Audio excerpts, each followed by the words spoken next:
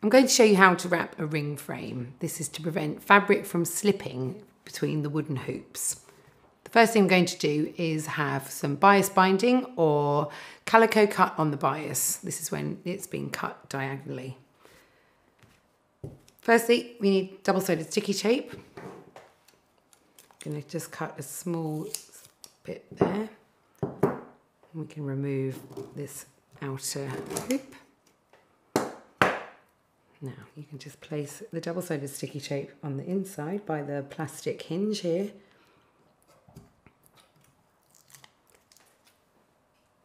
So we're going to keep it all wrapped up, which means it's easier for you to wrap around.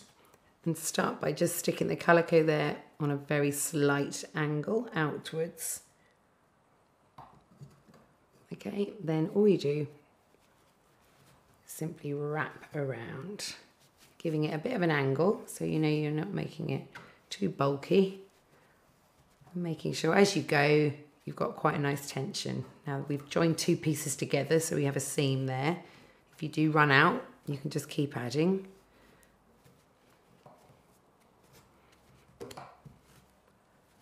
For fabrics such as organza or anything really silky, you really need to do this with your frames, otherwise they will slacken off all the time. And for most embroideries, you do need to have very tight fabric when you're working. Now, the point is you don't want to have any real wood showing, so just ensure that your calico or bias binding is covering over the last lap.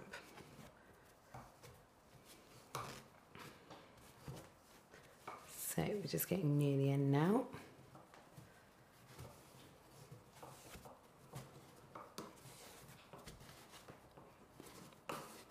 Keeping that tension on it.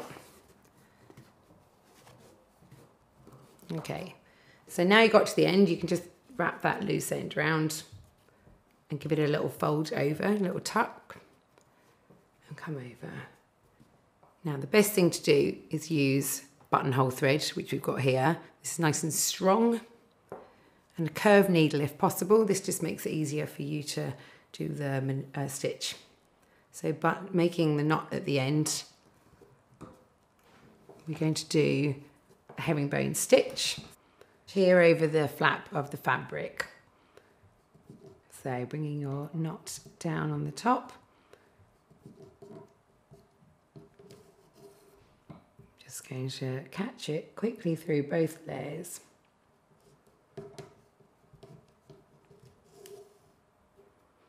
So herringbone stitch, you needle the fa it faces backwards, but you're going forwards. So you must always think about that. Okay, just a few more. You don't need to do too many.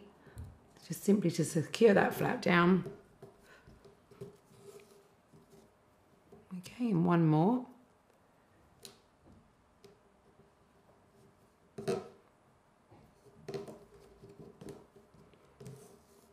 And you can finish that by just doing three stab stitches. So that's three small st um, stitches next to each other.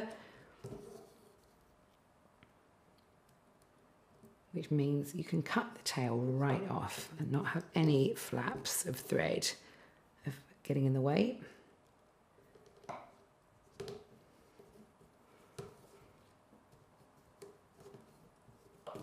Okay, so that's your herringbone stitch done. Just cut off that tail there. So that's all there is to it. You don't need to add any more stitches to the beginning because the sticky tape there is holding it in place. All you would do now is wrap your outer frame exactly the same way and then you're going to guarantee that none of your fabric will slip in your hoop frame.